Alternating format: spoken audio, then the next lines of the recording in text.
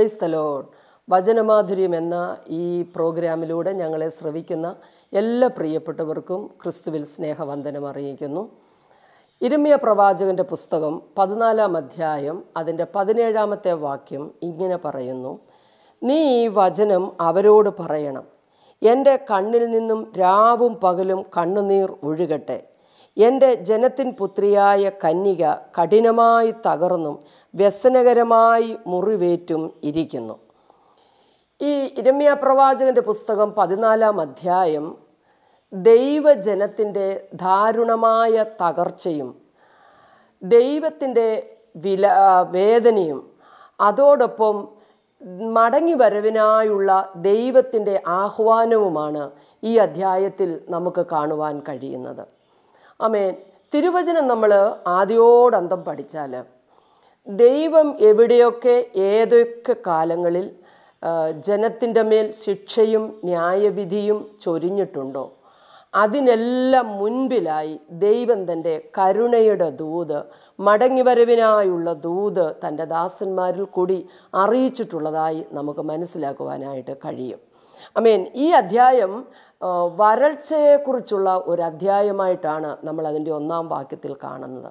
വരൾച്ചയെ പറ്റിയുള്ള ഒരു ദൈവീക പ്രവചനമാണ് നമ്മളിവിടെ കാണുന്നത്.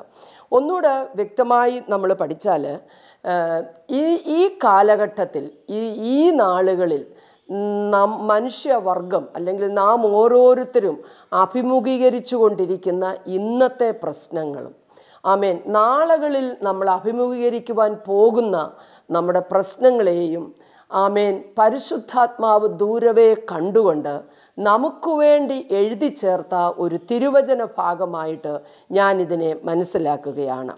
സ്തോത്രം. ഈ അധ്യായത്തിൽ പ്രധാനപ്പെട്ട നാല് വിഷയങ്ങളാണ് ഉൾക്കൊള്ളിച്ചിരിക്കുന്നത്.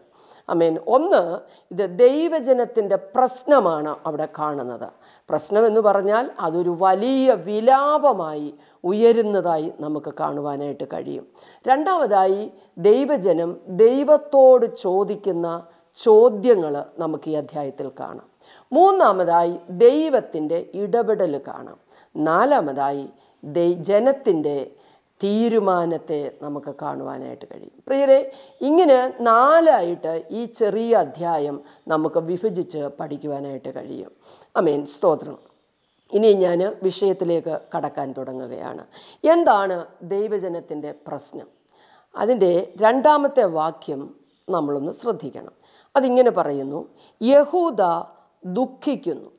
അതിന്റെ പടിവാതുക്കൽ ഇരിക്കുന്നവൻ ക്ഷീണിച്ചിരിക്കുന്നു. അവൻ കറുപ്പുടുത്ത് നിലത്തിരിക്കുന്നു. യെരുഷലേമിന്റെ നിലവിളി പൊങ്ങുന്നു. ഹലലുയ്യ അവിടെ പ്രത്യേകം ശ്രദ്ധിക്കണമേ ആരാ കറുപ്പുടുത്തത്? ആരാ ദുഃഖിച്ചിരിക്കുന്നത്? ആമേൻ. എവിടെ നിന്നാണ് വിലാപമുയരുന്നത് ഹലലുയ്യ ആമേൻ. യഹൂദ. ആമേൻ. സ്തോത്രം. എന്ന് പറഞ്ഞാൽ യഹൂദ എന്ന് പറഞ്ഞാൽ നമുക്കറിയാം സ്തുതിക്കുന്ന ജനം. അതായത് ദൈവത്തിന്റെ തെരഞ്ഞെടുക്കപ്പെട്ട ജനം. ദൈവജനം. ഹലലുയ്യ ഈ നാളുകളിൽ നമ്മൾ നോക്കിയാൽ ദൈവജനത്തിന്റെ നടുവിൽ നിന്നുയരുന്ന പ്രശ്നവും ഇത് തന്നെയല്ലേ? ആമീൻ. യെരുസലേമിൽ നിന്ന് നിലവിളി പൊങ്ങുന്നു. ദൈവജനത്തിന്റെ നടുവിൽ നിന്ന് ഈ നാളുകളിൽ നിലവിളി പൊങ്ങിക്കൊണ്ടിരിക്കുകയാണ്. വലിയ വേദനയുടെ നിലവിളി ആമേൻ ആഗോള വ്യാപകമായി ദൈവജനം സ്തുതിക്കുന്ന ജനം ദൈവത്തെ അറിയുന്ന ജനം ഈ നാളുകളിൽ ദുഃഖിച്ച് കരയുന്ന ഒരു കാലഘട്ടമാണ്. ഹലലുയ്യ രണ്ടാമത്തെ അവരുടെ പ്രശ്നം അതിന്റെ പത്തൊൻപതാമത്തെ വാക്യം ആമേൻ നമുക്ക് വായിക്കുമ്പോൾ കാണാം. ദൈവമേ നീ യഹൂദയെ കേവലം ത്യജിച്ചു കളഞ്ഞുവോ? നിനക്ക് സിയോനോട് വെറുപ്പ് തോന്നുന്നുവോ? പൊറുപ്പാകാതെ വണ്ണം നീ ഞങ്ങളെ മുറിവേൽപ്പിച്ചത് എന്ത്? ഞങ്ങൾ സമാധാനത്തിനായി കാത്തിരുന്നു ഒരു ഗുണവും വന്നില്ല രോഗശമനത്തിനായി കാത്തിരുന്നു. എന്നാൽ ഇതാ ഭീതി. എന്റെ പ്രിയ ദൈവജനമേ ഈ നാളുകളിൽ ഇതല്ലേ നമ്മുടെ നടുവിൽ നടന്നുകൊണ്ടിരിക്കുന്നത്. സമാധാനത്തിനായി നമ്മൾ കാത്തുകാത്തിരിക്കുകയാ. ഈ ആഴ്ചയിൽ മാറും അടുത്ത ആഴ്ചയിൽ മാറും ഈ മാസം കൊണ്ട് മാറും ഈ വർഷം കൊണ്ട് മാറും. ഇങ്ങനെ നമ്മൾ സമാധാനത്തിനായി കാത്ത് ഈ മഹാവ്യാധിയിൽ നിന്ന് ലോകം വിടുവിക്കപ്പെടുവാൻ ജനം വിമുക്തരാകുവാൻ ഒരു രോഗശമനത്തിനായി നമ്മളെല്ലാവരും കരഞ്ഞുകൊണ്ടിരിക്കുന്ന ഒരു കാലഘട്ടം. ഹലലുയ അമേൻ ദൈവജനത്തിന്റെ നടുവിൽ നിന്ന് ഒരു വലിയ വിലാപവും വേദനയും ഉയർന്നുകൊണ്ടിരിക്കുകയാണ് ഈ നാളുകളിലും. ഹലലിയ അവിടെ ചോദിക്കുകയാ ദൈവമേ നീ യഹൂദയെ എന്ന് പറഞ്ഞാൽ പ്രാർത്ഥിക്കുന്ന ദൈവജനത്തെ നീ ത്യജിച്ചു കളഞ്ഞുവോ? അമേൻ സ്തോത്രം. ദൈവമേ നിനക്ക് സിയോനോട് എന്ന് പറഞ്ഞാൽ ദൈവജനത്തോട് നിനക്ക് ആമേൻ വെറുപ്പ് തോന്നുന്നുവോ? ഹല്ലേലൂയ. എന്തുകൊണ്ടാണ് ഞങ്ങളുടെ പ്രാർത്ഥന നീ കേൾക്കാത്തത്? എന്തുകൊണ്ടാണ് ഞങ്ങളുടെ യാചനകൾക്കൊരു മറുപടി വരാത്തത്? എന്തുകൊണ്ടാണ് ഞങ്ങളുടെ രോഗങ്ങൾക്ക് ഒരു ശമനം വരാത്തത്? എന്തുകൊണ്ടാണ് ഞങ്ങൾ സമാധാനത്തിനായി കാത്തിരുന്നിട്ട് ഞങ്ങൾക്കൊരാശ്വാസം പ്രാപിക്കുവാൻ കഴിയാത്തത്? ദൈവമേ എന്തുകൊണ്ട് ആണ്? എന്തുകൊണ്ടാണെന്നുള്ള ഒരു വലിയ നിലവിളി ദൈവമക്കളെ ഈ നാളുകളിൽ ഈ ഭൂമിയിൽ വസിക്കുന്ന സകേല ദൈവജനത്തിന്റെ ആമേൻ ഹൃദയത്തിൽ നിന്നും ദൈവത്തെങ്കിലേക്ക് ഉയരുന്ന ഒരു ചോദ്യമാണ്. ഹല്ലുയ്യ അമേൻ അതുകൊണ്ട് ഈ നാളുകളിൽ അമേൻ ഈ അധ്യായം വായിക്കുകയും പഠിക്കുകയും ചെയ്തപ്പോൾ അമേൻ ദൈവം എനിക്ക് തന്ന ചില ചിന്തകൾ അമേൻ ഞാൻ നിങ്ങളുമായി പങ്കുവെക്കുകയാണ്. ഹല്ലേലൂയ രണ്ടാമതായി അവരുടെ ഈ പ്രശ്നത്തിന്റെ നടുവിൽ അവർ ചോദിക്കുന്ന ചോദ്യങ്ങൾ നമുക്ക് കാണുവാനായിട്ട് കഴിയും. ആരുടെ ചോദ്യമാണ് ദൈവജനത്തിന്റെ ചോദ്യം. ആമേൻ. ദൈവസഭയുടെ ചോദ്യം. ഹലലുയ ആമേൻ. ചോദ്യങ്ങൾ നമുക്ക് നോക്കാം. അതിന്റെ എട്ടാമത്തെ വാക്യത്തിലാണ് അവരുടെ ചോദ്യം കാണുന്നത്. ഇസ്രയേലിന്റെ പ്രത്യാശയും കഷ്ടകാലത്ത് അവന്റെ രക്ഷിതാവുമായുള്ളവേ നീ ദേശത്ത് പരദേശിയെ പോലെയും ഒരു രാ പാർക്കാൻ മാത്രം കൂടാരമടിക്കുന്ന വഴിപോക്കനെ പോലെയും ആയിരിക്കുന്നത് എന്ത്? അമേൻ ദൈവജനത്തിന്റെ ഒരു വളരെ പ്രസക്തമായ വളരെ ഗൗരവമായ ഒരു ചോദ്യമാണ് ഇവിടെ കാണുന്നത്. ഹലിലിയ അമേൻ ഇസ്രയേലിന്റെ പ്രത്യാശയായ ദൈവം അമേൻ ദൈവജനത്തിന്റെ പ്രത്യാശയാണ് അവർ സേവിക്കുന്നവരുടെ ദൈവം. കഷ്ടകാലത്ത് അവരുടെ രക്ഷിതാവാണ്. ഏത് കഷ്ടത്തിലും ഇറങ്ങി വന്ന് വിടുവിക്കുന്ന അവരുടെ രക്ഷിതാവാണ് ദൈവം. ഹല്ലേലൂയ. എന്നാൽ ഇപ്പോൾ ഈ കാലഘട്ടങ്ങളിൽ ആമേൻ നീ എന്തുകൊണ്ട് ഒരു പരദേശിയെ പോലെ അമേൻ ശ്രദ്ധിക്കണമേ ഒരു രാ പാർക്കാൻ മാത്രം കൂടാരമടിക്കുന്ന ഒരു പരദേശിയെ പോലെ ദൈവമേ നീ ആയിരിക്കുന്നത് എന്ത് എന്നുള്ള ഒരു ചോദ്യമാണ് ഈ പ്രശ്നത്തിന്റെ നടുവിൽ ദൈവജനം ചോദിക്കുന്നത്. പ്രിയമുള്ള ദൈവമക്കളെ പലപ്പോഴും പ്രാർത്ഥിക്കുന്ന ദൈവമക്കൾ ഇങ്ങനത്തെ ചോദ്യങ്ങൾ ഹൃദയത്തിൽ ഉയരാറുണ്ട്. കർത്താവെ എന്തുകൊണ്ടാണ് നീ അനങ്ങാതങ്ങ് ഇരിക്കുന്നത് എന്തുകൊണ്ടാണ് ഞങ്ങളുടെ പ്രാർത്ഥനയ്ക്ക് മറുപടി തരാതെ ഇരിക്കുന്നത്? ഹലിലിയ നീയല്ലേ ഞങ്ങളെ രക്ഷിക്കേണ്ട ദൈവം. ഞങ്ങളുടെ കഷ്ടകാലത്ത് മറുപടി തരേണ്ട ദൈവം അങ്ങ് മാത്രമാണല്ലോ എന്ന് നമ്മൾ ചോദിക്കാറുണ്ട്. എന്നാൽ അവിടെ പറയുകയാണ് ദൈവമേ നീ ഒരു പരദേശിയെ പോലെയും ആമേൻ. ആമേൻ. ഒരു വഴിപോക്കനെ പോലെയും അല്ലെങ്കിൽ ഒരു വഴിയാത്രകനെ പോലെയും നീ ഞങ്ങളുടെ നടുവിൽ ആയിപ്പോയത് എന്ത് എന്നാണ് അവർ ചോദിക്കുന്നത്.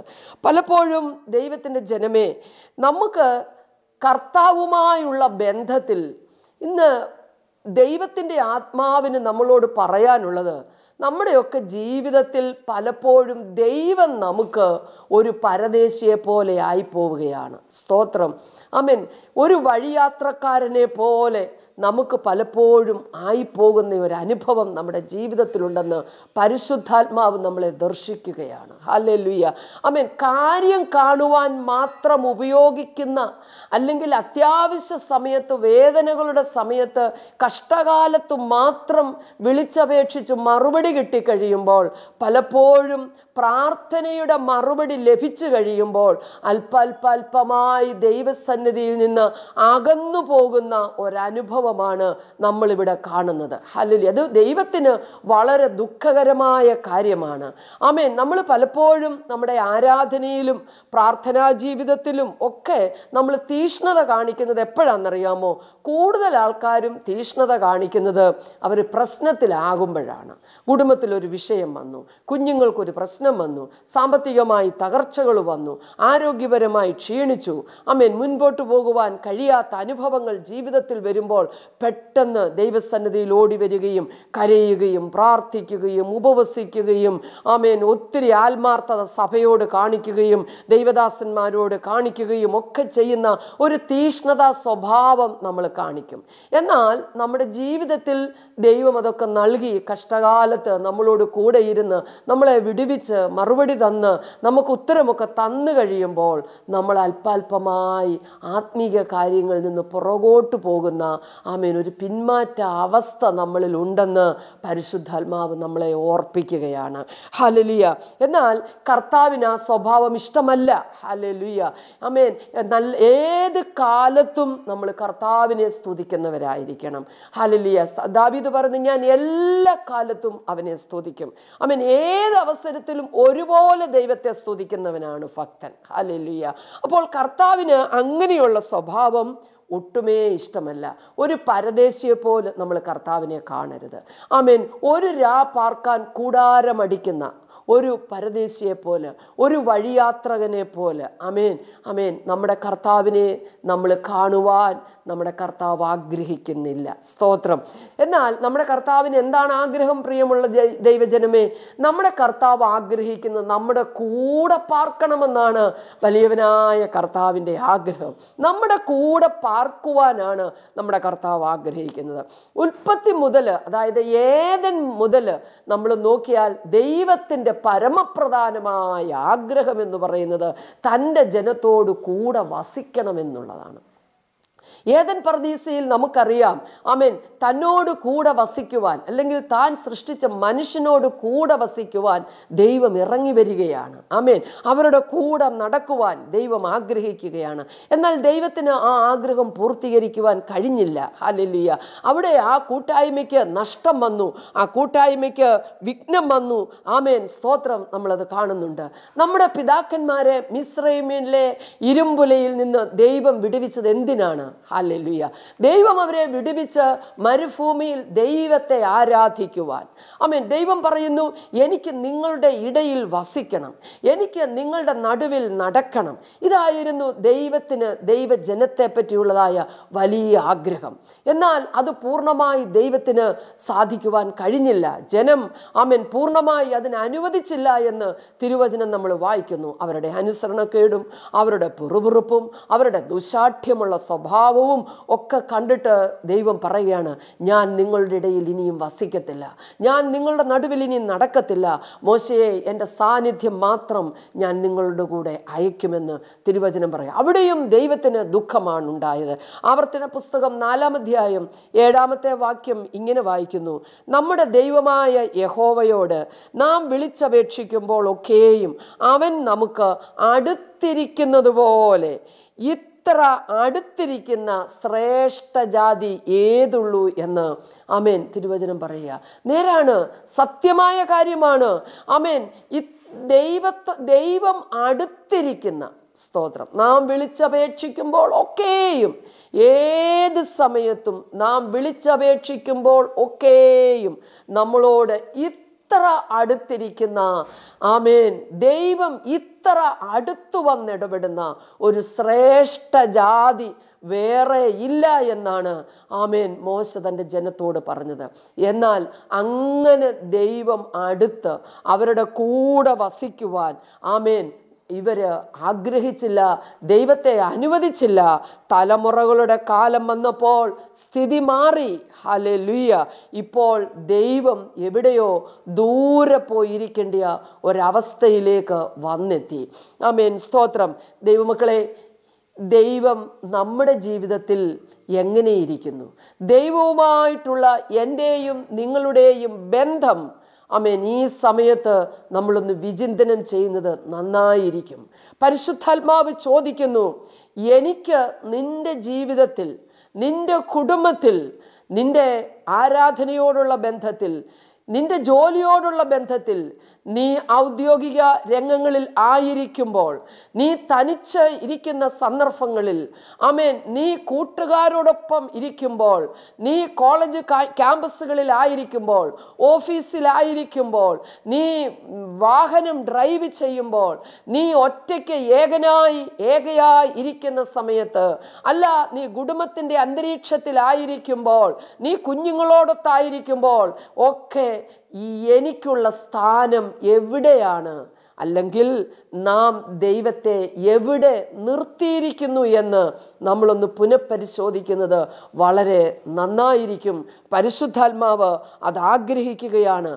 തലമുറകളുടെ കാലം വന്നപ്പോൾ ദൈവം ഒരു രാത്രി മാത്രം പാർക്കുവാൻ കയറി ചെല്ലുന്ന ഒരു സ്ട്രെയിഞ്ചറെ പോലെ ആമേൻ ഒരു വഴി യാത്രക്കാരനെ പോലെ അല്ലെങ്കിൽ ഒരു ട്രാവലറെ പോലെ ആമേൻ തലമുറകൾക്ക് മാറിക്കഴിഞ്ഞു. കാരണം അത്യാവശ്യ കാര്യങ്ങൾക്ക് വേണ്ടി ദൈവത്തെ ഉപയോഗിക്കുക. നമ്മളിന്ന് പലപ്പോഴും കാണാറുണ്ട് പലരും സഭയിൽ വരുന്നത് എന്തിനാണെന്നറിയാമോ? അവരുടെ വിവാഹങ്ങൾ നടക്കണം. ആമേൻ. ആ കുഞ്ഞുങ്ങളെ ഒന്ന് സമർപ്പിക്കണം. അല്ലെങ്കിൽ മരണമുണ്ടായാൽ അതിനൊരു സ്ഥലം വേണം. ഈ ലോകത്തിൽ എസ്റ്റാബ്ലിഷ്ഡായ ഒരു ചർച്ച് വേണം. ആമേൻ. ഇന്ന ചർച്ചിന്റെ മെമ്പറാണെന്ന് പറയണം. ഇന്ന പള്ളിയിലെ അംഗങ്ങളാണെന്ന് പറയണം. കാരണം അവരുടെ അത്യാവശ്യ കാര്യങ്ങളൊക്കെ നടത്തിയെടുക്കുവാൻ ആയിട്ടുള്ള ഒരു സംഘടനയല്ല ഒരു ക്ലബ്ബല്ല ആരാധന എന്ന് പറയുന്നത് ദൈവസഭ എന്ന് പറയുന്നത്. ആമേൻ. നിന്റെ ഭവനമെന്ന് പറയുന്നത്. ആമേൻ. സ്തോത്രം. ഒരു കണ്ണിനും ദയയില്ലാതെ കിടന്ന സ്ഥാനത്ത് നിന്ന് ദൈവം കോരിയെടുത്ത് ആമേൻ ദൈവം ഇറങ്ങി വന്ന് നിനക്ക് ആരുമില്ലെന്ന് നിലവിളിച്ച സ്ഥാനത്ത് ആമേൻ ആരും ആമേൻ കാണാതെ പോയ സ്ഥാനത്ത് കണ്ടിട്ടും കാണാതെ പലരും മാറിപ്പോയപ്പോൾ ആയിരിക്കുന്ന ചേറ്റുകുഴിയിലേക്ക് ഇറങ്ങി വന്ന് കോരിയെടുത്ത് അവന്റെ തോളിൽ വഹിച്ച് ആമേൻ നിന്നെ ഒരു അമ്മ തന്റെ കുഞ്ഞിനെ മാറുവോട് അണയ്ക്കുന്നത് പോലെ അണച്ചത് എന്തിനെന്നറിയാമോ? നമ്മളോട് കൂടെ വസിക്കുവാൻ ഈ കർത്താവ് ആഗ്രഹിക്കുകയാണ്. ഹല്ലേലൂയ. അവിടെ കർത്താവിന് വേദനയുണ്ടാക്കുന്നത് നമ്മളിൽ നിന്നുണ്ടാകാൻ പാടില്ല. അതുകൊണ്ടാണ് പരിശുദ്ധാത്മാവ് പറയുന്നത് എന്താണ്? ആമേൻ. ദൈവം ഇപ്പോൾ ഈ തലമുറയുടെ നടുവിൽ ഈ തലമുറയുടെ നടുവിൽ പിതാക്കന്മാർ ദൈവസാന്നിധ്യം കൊതിച്ചു. എന്നാൽ ഈ തലമുറയുടെ നടുവിൽ ദൈവം ഒരു പരദേശിയെ പോലെ ആയിരിക്കുന്നു. അത്യാവശ്യ കാര്യങ്ങൾക്ക് വേണ്ടി മാത്രം കാണുന്ന ഒരു വ്യക്തി ആയിട്ട് കണ്ടുപോയത് പരിശുദ്ധാത്മാവിന് ദുഃഖമായി പോയി എന്ന് ഈ സമയത്ത് ദൈവാത്മാവ് നമ്മളെ ഓർപ്പിക്കുകയാണ് ഹലലുയ്യ അമേൻ അമേൻ പുതിയ നിയമത്തിലേക്ക് വരുമ്പോഴും ദൈവത്തിന്റെ ഏറ്റവും പരമപ്രധാനമായ ആഗ്രഹം തന്റെ ജനത്തോടു കൂടെ വസിക്കണമെന്നാണ്. അതിന് രണ്ട് കോരിന്തർ ലേഖനം ആറാം അധ്യായം പതിനാറ് പതിനേഴ് വാക്യങ്ങൾ. വളരെ നീണ്ട വാക്യങ്ങളാണ്. അത് ഞാനൊന്ന് ഷോർട്ടാക്കി പറയാം. ഹലലുയ അവിടെ ദൈവം ആഗ്രഹിക്കുന്നത് എന്താണെന്നറിയാമോ? അമേൻ ജനത്തിന്റെ ഒരു വിശുദ്ധിയും വേർപാടുമാണ് ആഗ്രഹിക്കുന്നത്. അവരുടെ നടുവിൽ നിന്ന് നിങ്ങൾ പുറപ്പെട്ട് വേർപെട്ടിരിപ്പീൻ.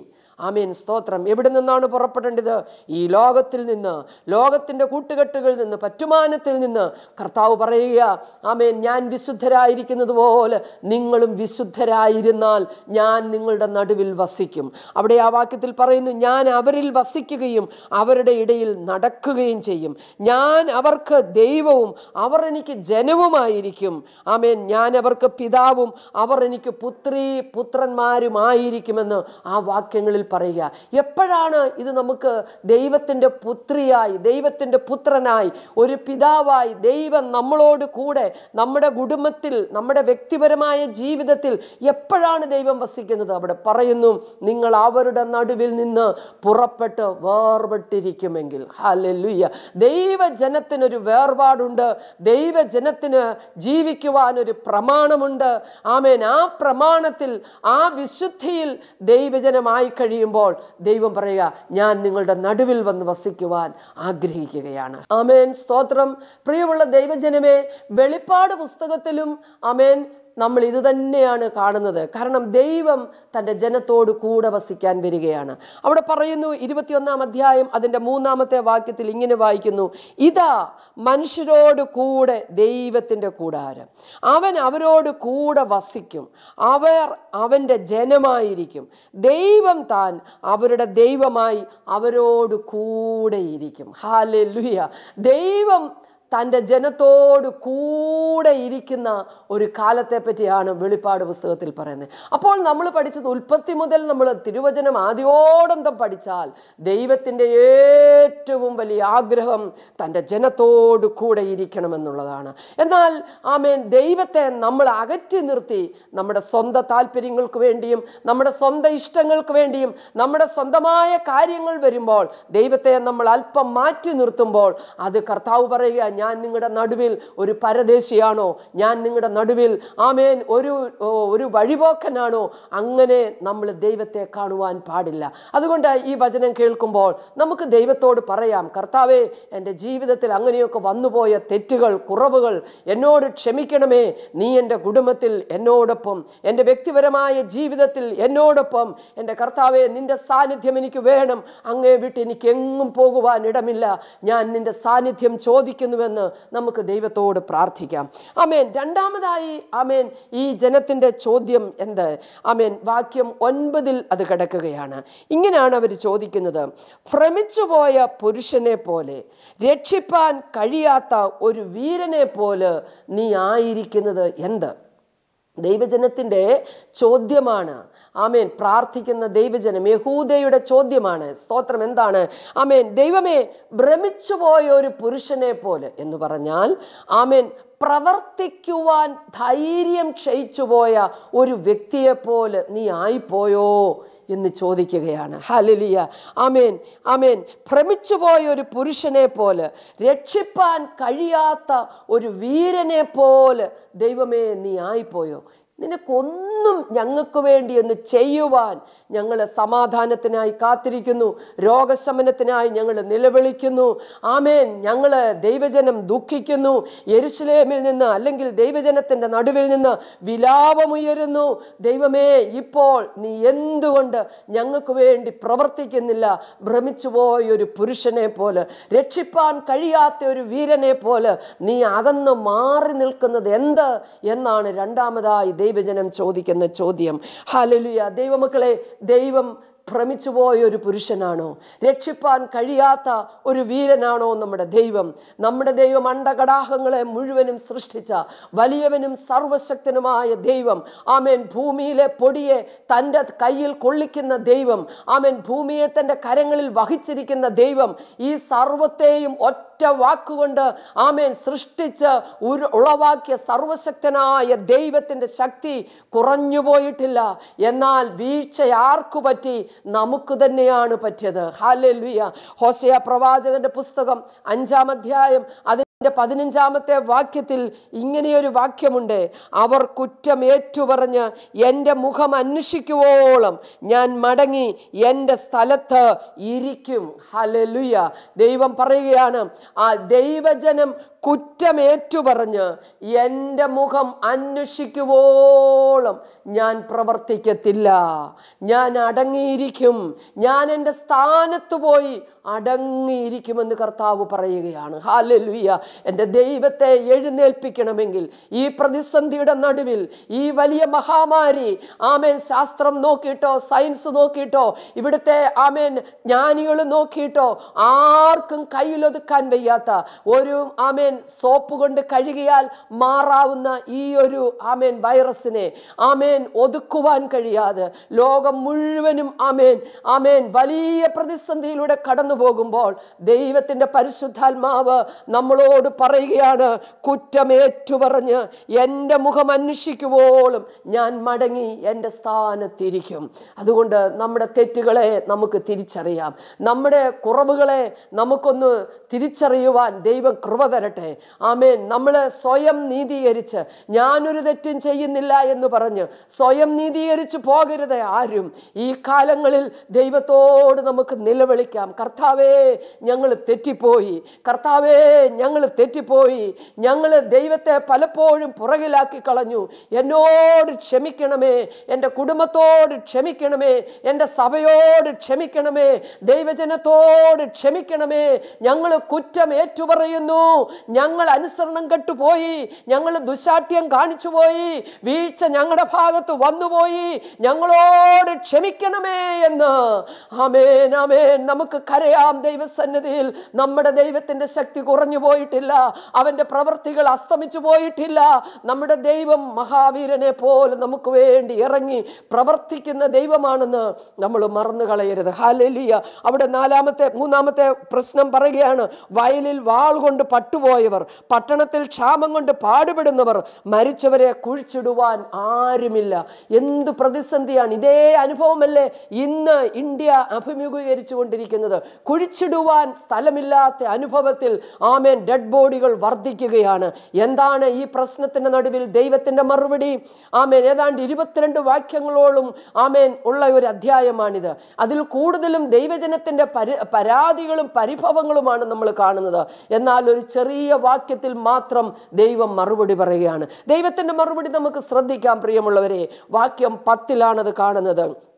അവർ ഇങ്ങനെ ഉഴന്നു നടപ്പാൻ ഇഷ്ടപ്പെട്ടു. കാൽ അടക്കി വെച്ചതുമില്ല എന്ന് യഹോവ തന്റെ ജനത്തെക്കുറിച്ച് പറയുന്നു. എന്താണ്? അവർ ഉഴന്നു നടപ്പാൻ ഇഷ്ടപ്പെട്ടു. അവരുടെ കാൽ അടക്കി വെച്ചില്ല. ആമേൻ. എന്ന് പറഞ്ഞാൽ അവരുടെ ഇഷ്ടമുള്ള വഴിയെ അവർ പോയി. ഞാൻ ആഗ്രഹിച്ച വഴിയിൽ അവർ കാൽ അടക്കി വെച്ചില്ല. അതിന് രണ്ട് ട്രാൻസ്ലേഷൻ ഞാൻ നിങ്ങളോട് പറയാം. ഒന്ന് they have not kept their feet in check എന്നാണ് പറയുന്നത്. ആമേൻ. അവരവരുടെ കാലടികളെ ചെക്ക് ചെയ്തില്ല. അവരെങ്ങോ എവിടെയൊക്കെയോ എങ്ങനെയൊക്കെയോ അവരുടെ ഇഷ്ടത്തിന് അങ്ങ് പോയി. ഹലലുയ്യ എന്റെ പ്രമാണത്തിൽ നിന്ന് അവർ വഴിതെറ്റിപ്പോയി യാത്ര ചെയ്തു. അവരുടെ കാൽ അവർ ചെക്ക് ചെയ്തില്ല എന്ന് പറയുകയാണ്. രണ്ടാമത് അതിനെപ്പറ്റി പറഞ്ഞിരിക്കുന്ന ഒരു ട്രാൻസ്ലേഷൻ ആത്മനിയന്ത്രണം പാലിച്ചില്ല എന്നുള്ളതാണ്. ആമേൻ. ആമേൻ. പലയിടങ്ങളിലും ദൈവമക്കൾ ആത്മനിയന്ത്രണം പാലിക്കേണ്ടിടത്ത് ആമേൻ. സ്വയം അടങ്ങിയിരിക്കേണ്ട സ്ഥാനത്ത് നമ്മൾ അവിടെ ഒക്കെ അതിര് കടന്നുപോയ കുറവ് ഇന്ന് ഇന്ന് ഈ സമയത്ത് നമുക്ക് ദൈവത്തോട് ഏറ്റുപറയാം. കർത്താവേ എൻ ഞാൻ നിനക്കിഷ്ടമില്ലാത്ത വഴികളിൽ നടന്നു പോയതെന്നോട് ക്ഷമിക്കണമേ. അങ്ങേക്ക് ഇഷ്ടമില്ലാത്ത തീരുമാനങ്ങൾ എടുത്തു പോയതെന്നോട് ക്ഷമിക്കണമേ. ആമേൻ. സ്തോത്രം. നമുക്ക് ദൈവത്തോട് നമ്മുടെ കുറ്റം ഏറ്റുപറയാം. സലോമോൻ ഷിമിയോടെ ഒരു കാര്യം പറഞ്ഞു. നീ എന്റെ രാജ്യത്ത് സമാധാനത്തോടെയും സ്വസ്ഥതയോടെയും പാർക്കും. നീ എരിശിലേയും വിട്ടുപോകുന്ന നാളിൽ നീ മരിക്കേണ്ടി വരും. നമുക്ക് ഓർക്കാം നമ്മളെ ദൈവം തെരഞ്ഞെടുത്തത്. പാപക്കൂപത്തിൽ നിന്ന് തെരഞ്ഞെടുത്ത് ആമേൻ. എരിശിലേമിൽ ദൈവത്തോട് ചേർന്ന് വസിക്കുവാൻ ദൈവം നമ്മളെ തെരഞ്ഞെടുത്ത സ്ഥാനത്ത് നിന്ന് ആമേൻ നമ്മൾ യരിശിലേം വിട്ടുപോയാൽ ആമേൻ നമ്മൾ ശിക്ഷയ്ക്ക് യോഗ്യരാകും എന്നുള്ളതാണ് പരിശുദ്ധാത്മാവ് നമ്മളെ കാണിക്കുന്നത്. ആമേൻ എമ്മൗസിലേക്ക് പോയ ആമേൻ തന്റെ ശിഷ്യന്മാരോട് ആമേൻ ചേർന്ന് കർത്താവ് നടക്കുന്ന ഒരു രംഗം ലൂക്കോസിന് സുവിശേഷം ഇരുപത്തിനാലാം അധ്യായത്തിൽ നമുക്ക് കാണാം. ആ ഭാഗത്തെ ആമേൻ ശിഷ്യന്മാർ ദൈവത്തോട് കർത്താവിനോട് പറയുന്ന ഒരു വാക്കുണ്ട്. എന്താ? കർത്താവെ നേരം അസ്തമിപ്പാറായല്ലോ നീ ഞങ്ങളോടുകൂടെ പാർക്കണമേ. നേരം വൈകുന്നല്ലോ നീ ഞങ്ങളോടുകൂടെ പാർക്കണമേ. ഹാലല്ലുയ്യ. ആമേൻ. നമ്മുടെ ജീവിതത്തിന്റെ നേരം വൈകുന്ന അനുഭവങ്ങളിൽ. ആമേൻ. ധാരാളമാണ് ജീവിതത്തിന്റെ നേരം വൈകുന്ന അനുഭവങ്ങൾ. ആരോഗ്യം ആമേൻ. നമ്മുടെ സമാധാനം നമ്മുടെ സന്തോഷം ആമേ നമ്മുടെ സാമ്പത്തിക നന്മകൾ ഇതൊക്കെ അസ്തമിക്കുന്ന അനുഭവങ്ങൾ നമ്മുടെ ജീവിതത്തിലുണ്ടാകും. ആ സമയത്ത് നമ്മളോട് കൂടെ പാർക്കുവാൻ ആമേൻ. ആ വൈകിയ വേളയിൽ നമ്മളോട് കൂടെ പാർക്കുവാൻ മറ്റാരുമില്ല. നമ്മുടെ കർത്താവ് മാത്രമേ ഉള്ളൂ ദൈവമക്കളെ. അവർ പറയുകയാണ് നേരം വൈകി അസ്തമിപ്പാറായല്ലോ. നീ ഞങ്ങളോടുകൂടെ പാർക്കണമേ. ഹല്ലേലൂയ. ജീവിതത്തിന്റെ ആമേൻ ജീവിത സൂര്യൻ അസ്തമിക്കുമ്പോൾ എന്ന് പറഞ്ഞാൽ ഒരു മനുഷ്യായുസിൽ ഏത് പ്രായത്തിലാണ് നമ്മുടെ ജീവിത സൂര്യൻ അസ്തമിക്കുന്നതെന്ന് നമുക്കറിയത്തില്ല. ആ പ്രായത്തിൽ വരുമ്പോൾ നമ്മളോട് കൂടെ ചേർന്നിരിക്കുവാൻ നമ്മുടെ കർത്താവ് മാത്രമേ ഉള്ളൂ. അതുകൊണ്ട് ആ സാന്നിധ്യം നമുക്ക് കർത്താവിനോട് ചോദിക്കാം. നമുക്ക് പറയാം നേരം അസ്തമിക്കാറായി നേരം വൈകാറായി ഞങ്ങളെ വിട്ടു പോകരുതേ ഞങ്ങളുടെ കൂടെ വസിക്കണമേ ഞങ്ങളുടെ കൂടെ വസിക്കണമേ. ഈ വചനം കേൾക്കുമ്പോൾ പ്രിയമുള്ള ദൈവജനമേ നമുക്ക് പ്രാർത്ഥിക്കാം എന്നോട് കൂടെ വസിക്കണമേ. ആമേൻ. എന്റെ സുഖകാലത്ത് മാത്രമല്ല എന്റെ ദുഃഖകാലത്ത് ഞാൻ ഏകനായി പോകുമ്പോൾ ഞാൻ ഒറ്റയ്ക്ക് ജീവിതത്തിന്റെ പ്രതിസന്ധികളെ അഭിമുഖീകരിക്കേണ്ടി വരുമ്പോൾ എല്ലാം അസ്തമിച്ചു എന്ന് തോന്നുമ്പോൾ ദൈവമേ നീ എന്നെ വിട്ടു പോകരുതേ. നീ കൂടെ പാർക്കണമേ. കൂടെ പാർപ്പിക്കാൻ കൊള്ളാവുന്ന ഒരു വ്യക്തി യേശു മാത്രമാണ്. അതുകൊണ്ട് അവനെ കൂടെ പാർപ്പിക്കുക. ദൈവസന്നിധിയിൽ നിന്ന് വിട്ടുപോയ അകന്നുപോയ തെറ്റുകൾ നമുക്ക് ഏറ്റുപറയാൻ പ്രിയമുള്ളവരെ. ആമേൻ. ദൈവത്തോട് നമുക്ക് അടുക്കാൻ പ്രിയമുള്ളവരെ. ദൈവജനം അവിടെ അനുദപിക്കുവാൻ തയ്യാറായി. ദൈവജനം അവിടെ ഒരു തീരുമാനമെടുത്തു. അവർ അനുദപിക്കുവാൻ തയ്യാറായി. അവർ കണ്ണുനീരൊഴുക്കുവാൻ തയ്യാറായി. ഈ വചനം അവർ ഉറക്ക പറയുവാൻ തയ്യാറായി. ഹലലിയ അവർ കഠിനമായി വ്യസനകരമായി മുറിവേറ്റിരിക്കുന്നു എന്നുള്ള സത്യം അവർ മനസ്സിലാക്കി. അവർ ദൈവത്തിങ്കിലേക്ക് മടങ്ങി വരുവാൻ അവിടെ ഒരു തീരുമാനമെടുക്കുകയാണ് അതുപോലെ ഈ ഒരു സിറ്റുവേഷനിൽ നമുക്ക് ദൈവത്തോടൊരു തീരുമാനമെടുക്കാം. നമുക്ക് കണ്ണുകൾ അടയ്ക്കാം. നമുക്ക് പ്രാർത്ഥിക്കാം. എന്നോട് ചേർന്ന് പ്രാർത്ഥിക്കുന്നവർ കണ്ണുകൾ അടച്ച് ദൈവസന്നിധിയിൽ നമുക്കൊരു തീരുമാനമെടുക്കാം. ദൈവത്തോട് നമുക്ക് ഏറ്റുപറയാം. എവിടെയൊക്കെയോ കർത്താവേ നിന്നെ ഞാൻ അകറ്റി നിർത്തിപ്പോയത് എന്നോട് ക്ഷമിക്കണമേ. എന്റെ സ്വന്തം ഇഷ്ടത്തിന് ഞാൻ സഞ്ചരിച്ചു പോയത് ക്ഷമിക്കണമേ. എന്റെ പിടിവാശികളും മത്സരങ്ങളും ആമേൻ പകപോക്കലുകളും ഒക്കെ എന്റെ ജീവിതത്തിൽ വന്നുപോയത് എന്നോട് ക്ഷമിക്കണമേ. എന്റെ ആത്മനിയന്ത്രണം വിട്ടുപോയ അനുഭവങ്ങൾ വളരെയുണ്ട്. അത് നിമിത്തം പലരും മുറിവേറ്റു.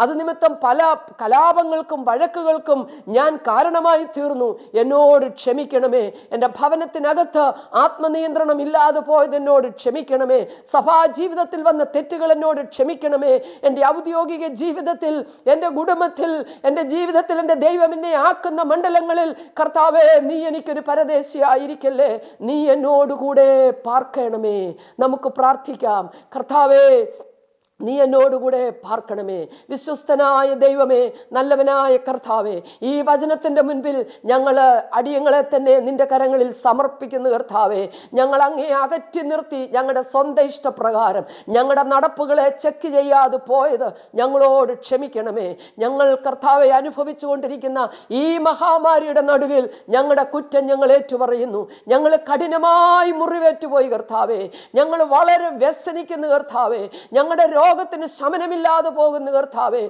ഞങ്ങൾ സമാധാനത്തിനായി കാത്തിരിക്കുന്നു. ഞങ്ങൾക്ക് സമാധാനം ലഭിക്കുന്നില്ല കർത്താവേ. ഓ ഞങ്ങൾ തെറ്റിപ്പോയി കർത്താവേ. ഞങ്ങളോട് ക്ഷമിക്കണമേ. ഞങ്ങളോട് ക്ഷമിക്കണമേ. ഞങ്ങളുടെ വിശുദ്ധി നഷ്ടപ്പെട്ടു പോയി. ഞങ്ങളുടെ വേർപെട്ട ജീവിതത്തിന് കർത്താവെ വിഘ്നങ്ങൾ വന്നുപോയി. ഞങ്ങൾ നിന്നെ കോപിപ്പിച്ചു പോയി. ഞങ്ങളുടെ ആവശ്യത്തിന് വേണ്ടി മാത്രം ഞങ്ങൾ നിന്നെ അന്വേഷിച്ച കുറവ് ഞങ്ങൾ ഏറ്റുപറയുന്നു. ഞങ്ങളോട് ക്ഷമിക്കണമേ. ഞങ്ങളോട് കൂടെ വന്ന് വസിക്കണമേ. നേരം അസ്തമിപ്പാറായി കർത്താവേ നേരം വൈകി കർത്താവേ ഈ ലോകം കർത്താവേ ആമേൻ അസ്തമിക്കുവാൻ തുടങ്ങുന്നു. ഈ ലോകമാകുന്ന കപ്പൽ തകരാൻ തുടങ്ങുന്നു. ഈ ലോക ജീവിതം അവസാനിക്കാൻ തുടങ്ങുന്നു. ഞങ്ങൾക്ക് വേണ്ടി ഒരു പുത്തൻ പുലരി ആമേൻ ആമേൻ. ഒരു പുതിയ പ്രഭാതം ഞങ്ങൾക്ക് വേണ്ടി പൊട്ടിവിടരാൻ തുടങ്ങുന്നു. ആ നിത്യതയുടെ തുറമുഖത്ത് ആമേൻ ഞങ്ങളുടെ കർത്താവ് മൊത്ത ഞങ്ങൾക്ക് വസിക്കുവാനുള്ള സമയം ആസന്നമായിരിക്കുന്നല്ലോ. അതുകൊണ്ട് ഞങ്ങളോടുകൂടെ വസിക്കണമേ. ഞങ്ങളുടെ കുറവുകൾ ക്ഷമിക്കണമേ. നിന്റെ വരവിനായി ഞങ്ങളെ ഒരുക്കണമേ. ഞങ്ങളെ സമർപ്പിക്കുന്നു. യേശുവിന്റെ നാമത്തിൽ തന്നെ. ആമേൻ. ആമേൻ.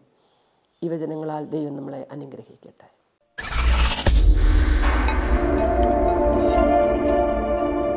ക്രൈസ്തവ ദൃശ്യമാധ്യമ രംഗത്ത് ആത്മനിറവിന്റെ വേറിട്ട ദൃശ്യാനുഭവങ്ങളുമായി പൂർണസമയ സംപ്രേഷണത്തിലേക്ക് ക്രിസ്ത്യൻ ലൈവ് ആനന്ദം ആശ്വാസം അനുഗ്രഹം. അവർ Facebook page Middle East Christian youth ministries subscribe Christian live W